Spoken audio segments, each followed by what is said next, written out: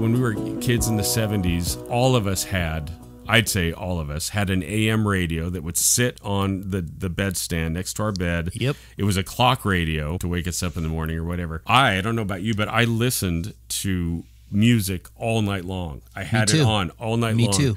Now there were certain songs that would come on that would frighten me and they Hmm. would give me the creepiest, weirdest like I don't even know how to describe what I was feeling, but something creepy and weird. I don't know if you'll relate to this or not at all, but this is one of the ones. It was almost like I wanted to I wanted to reach over and tr- and turn the radio off, but I was too, Too afraid to move. Yes, yes. this is one of them. I'm dying to hear what it is. I know you know the song. Really? Yeah, this. Can you think of what the part of the song that used to freak me out? Big Boys don't cry. Yep. Be quiet, big boys don't cry. Yep, it used to totally freak me out. You know what's funny is this has become one of my all-time favorite songs It in is. the entire freaking world. It is. This is a top 20 song for me. It is for me It is too. such a brilliant piece of music. And anybody that's a fan, a serious fan of music, has knows about the work that went into creating this It's piece amazing. of music. I mean, it truly the lyric alone is just is so incredible. You can say about this song what you can't say about a lot of music. This song is a work of art. It, oh, absolutely. It stops me in my tracks every time I hear it. Me too. Like right now, I just want to listen to it and shut up. Yeah, shut up.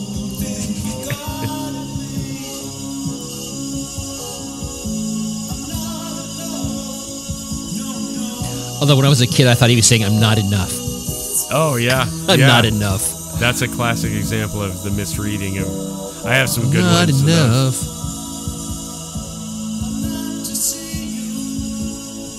But then again,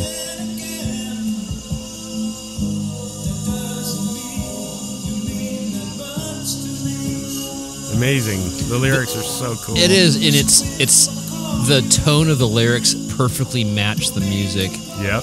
It's so melancholy and its sense of loss. And his his inability to admit that he's desperately in love with I this was just gonna say the exact same sentence. Yes. Inability. Yeah. The best line in the song is that.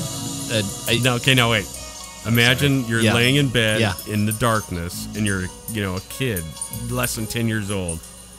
And this comes on and you're like, what's going on? kind of mystical chimes playing. yeah. And then when this voice comes in, it's just like, You know, this hot, hot chick.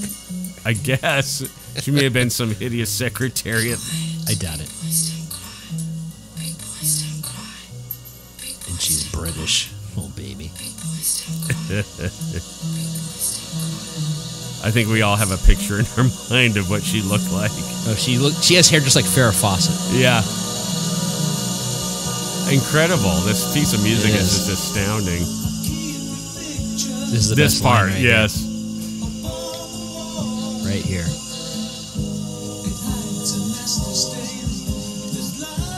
That's just like so human. It is. It's such a lie. Don't ask me to give it back.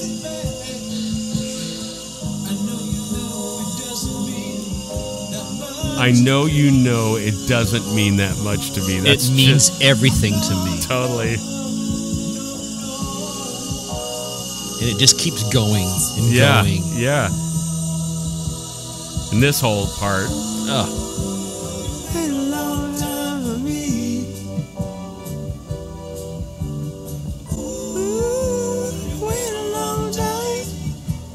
Yeah, this song does not belong on this show. No, but this we'll just do a whole I'll just make this a separate segment. This is truly just the best of the best. It is.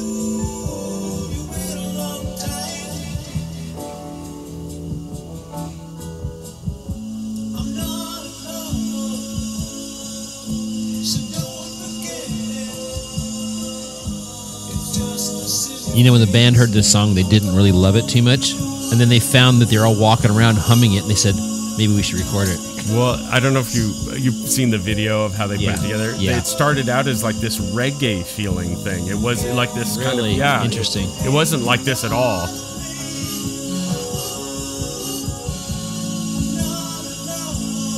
If you look up the word dreamy, This part. That is so cool. if you look up the word dreamy in the dictionary, this song's in there. it's very dreamy. It's very rare that the songs that that stand the test of time and like literally people will be rediscovering probably centuries from now. I won't be surprised.